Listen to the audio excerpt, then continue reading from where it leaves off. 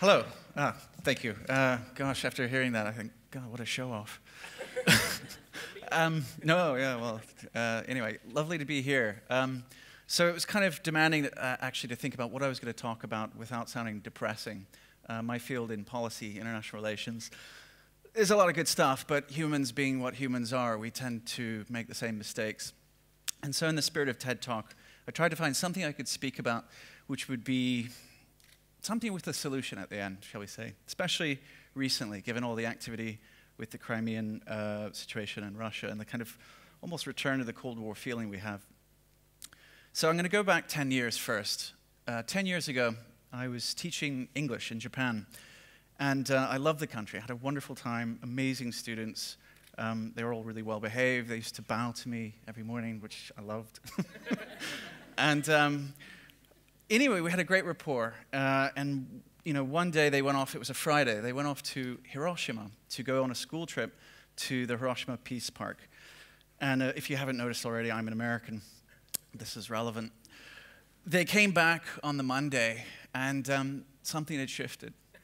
Something had changed. They were not as happy and smiley as they had been when they went off.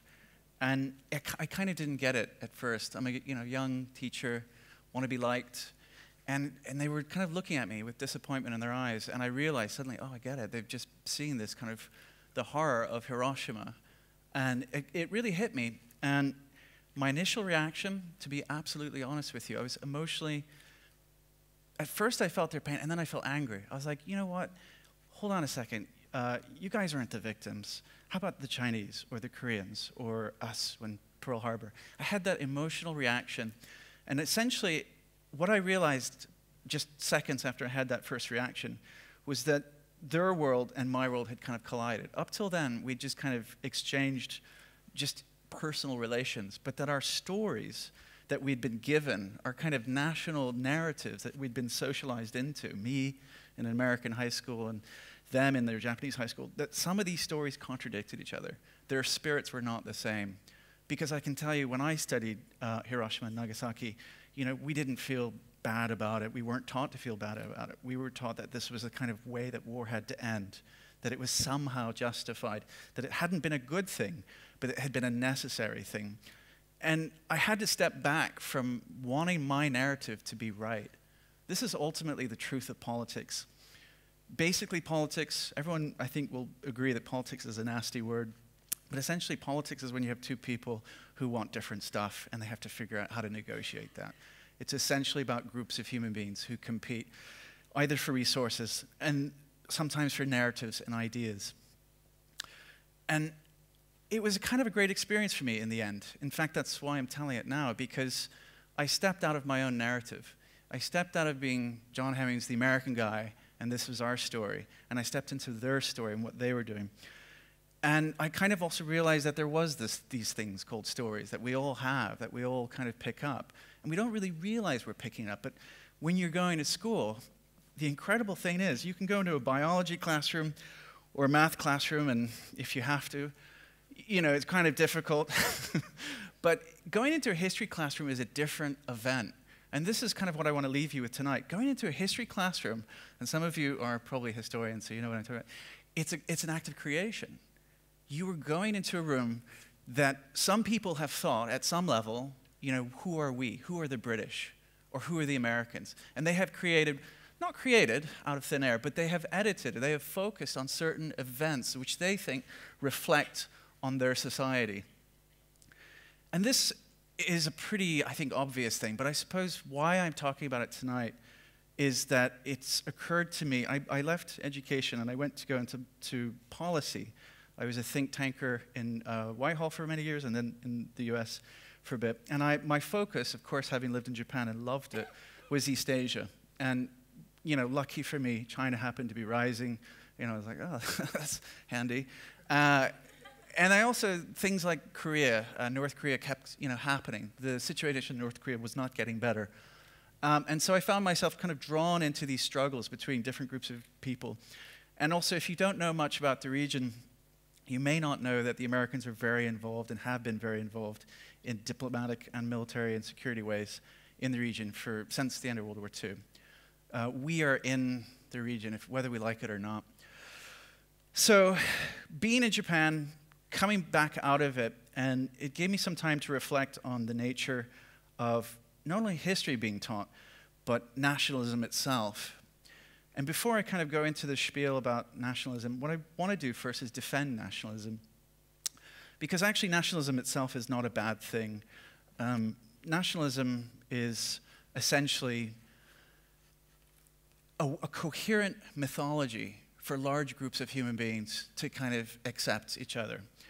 If you were in, if I, I understand from anthropologists, of, of one of which I am not, that the kind of normal sized human group in the wild would have been about 60 individuals, most of them related to each other. Uh, Francis Fukuyama calls this the kin group.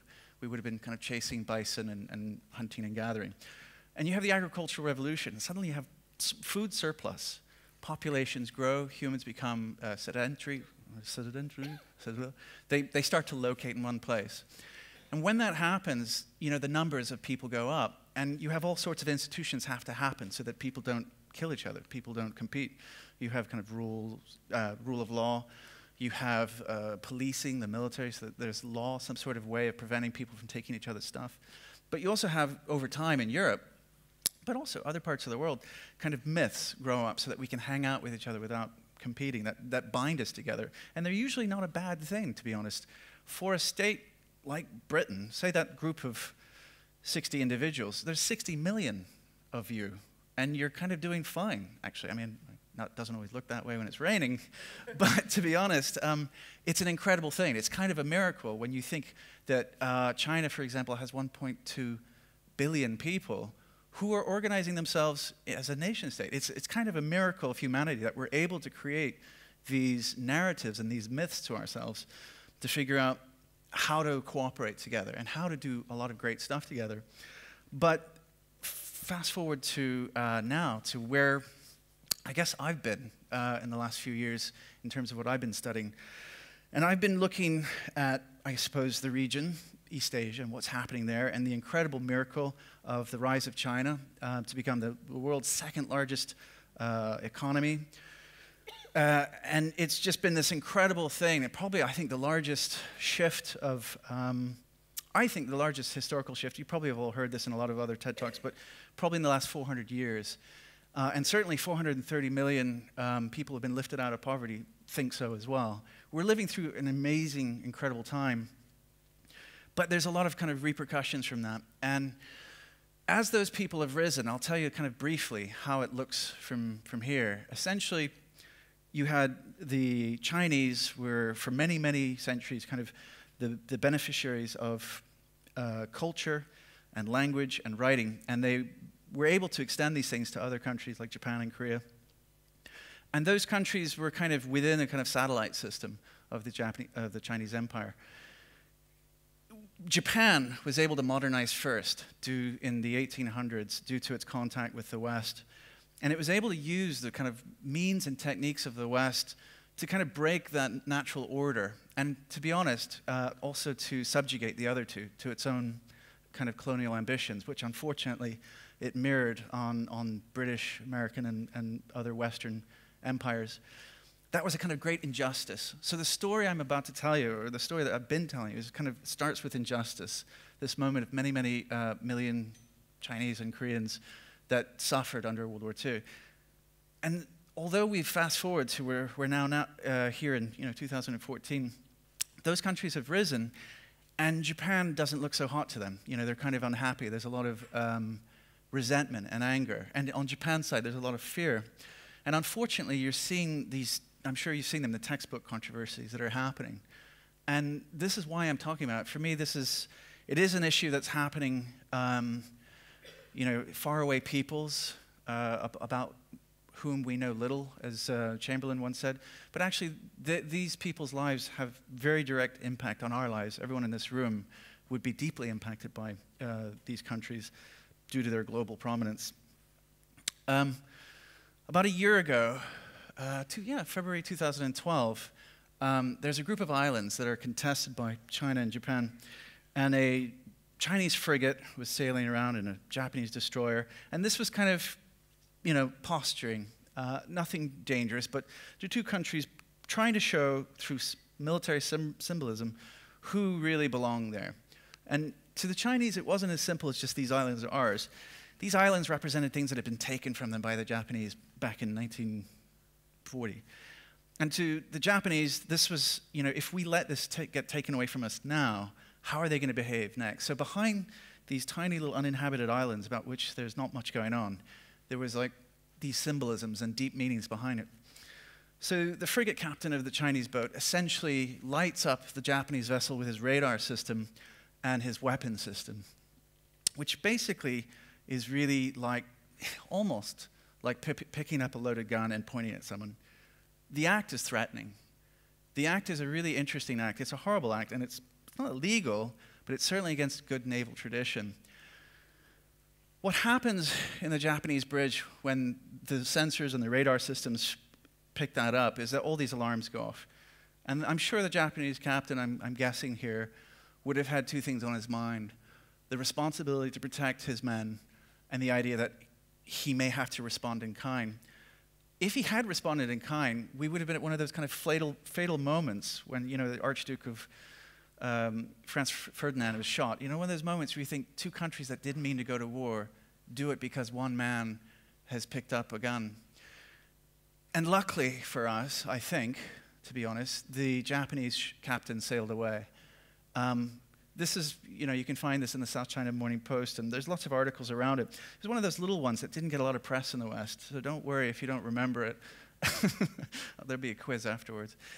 And I just remember thinking, oh God, you know, these two guys for a moment had pretty much all of our destinies in their hands. If I'll remind you, this was the world's second largest economy and the world's third largest economy, just about to accidentally have a war, in which the first largest economy, of the US, is a treaty ally of one of those countries and obliged militarily to defend it if there's a conflict.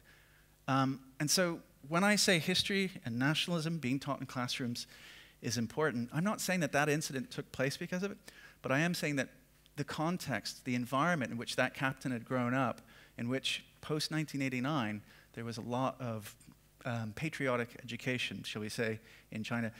It happens everywhere. And what I'm trying to say is that, yes, we can give peace a chance, but we actually have to look back at how we begin to view each other as enemies. How do discourses get raised? How does a child who knows nothing about the world think to himself, well, you know, the Japanese are my enemy because of what they've done? They are taught that. We are all taught that. I'm, I'm only using Japan and China as examples. Really, this is really relevant to all of us, with Michael Gove in this country doing his attempt at reforming history. And of course, every country is going to have good and bad stuff. There are going to be empires that you've done, and there's going to be also great accomplishments. And I think the challenge for all of us, this is like the hard part, especially for me as an American, is um, you know, you, you have to kind of think critically. Yes, we did good stuff. And then you have to realize, but yes, we did bad stuff. And somehow be able to comprehend that. And you have to work with other countries and have shared agreements on what happened. And that's very difficult because it's very politicized. People don't like it. Nationalism comes in two directions it's either top down, uh, the state writes the textbook for you to read, or it's bottom up. There's a lot of people who are very excited about their country and want all of us to be very excited about it. And that's okay. Like I said before, that's all right. But it's not good when it tells you who your enemies are. And it's even worse when they say, this land, this island here has been ours from time immemorial, and thus it's worth fighting for. So many of the things that I've looked at, so many of the conflicts that are happening right now, say in the Balkans or in Crimea, are about these narratives that this was ours, it was always ours and that shall be ours forever. Um, the great example, I suppose, of this is Kosovo. Uh, during the 90s, you may remember that was a huge battle. There weren't even many Serbs in Kosovo, but the, the identity of Serbia was that Kosovo was kind of part of the Holy Land, um, Holy Land metaphorically.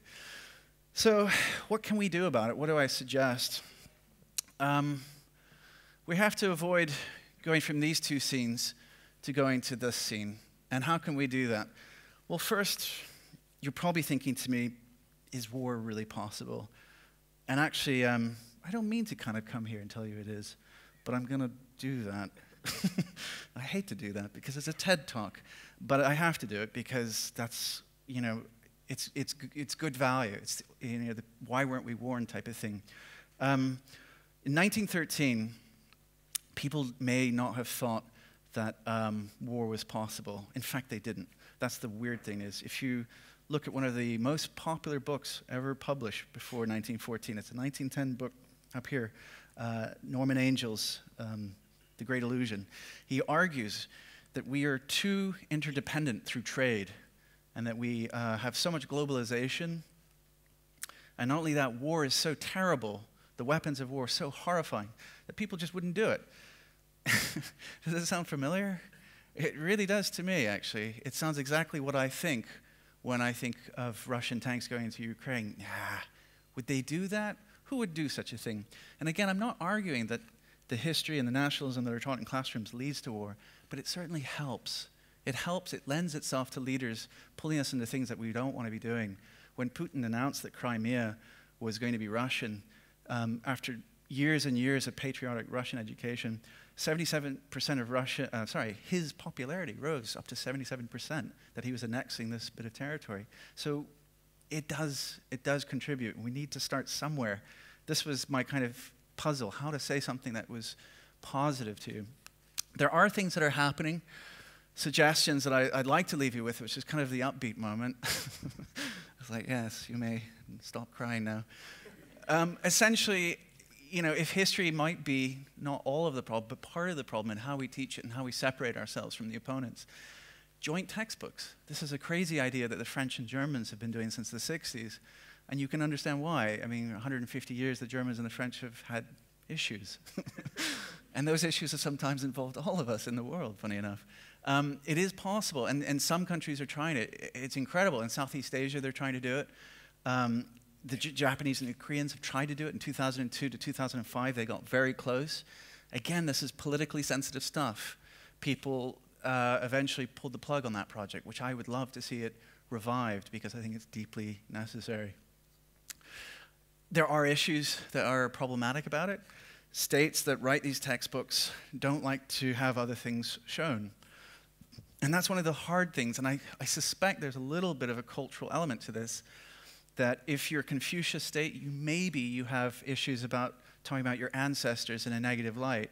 I think we forget maybe in the West that one of the great things about Christianity is you can kind of say, well, like it's you know it's not my fault, or or, or yes, it was my fault, uh, my ancestors' fault, and then I you know I confess, and that's the sin. So, more military exchanges. We could get officers going to each other's places and actually getting to know each other as individuals. There is a little bit of that going on, but it, it always gets frozen every time there's a political conflict. And finally, student exchanges. I know this sounds really, really um, like not so important, but it's super, super important um, to get as many kids going abroad and learning each other's narratives and learning that they aren't necessarily enemies. So, with those kind of few suggestions, I hope I've maybe giving you a little bit of something to think about, a little bit provocative, and thank you for your time.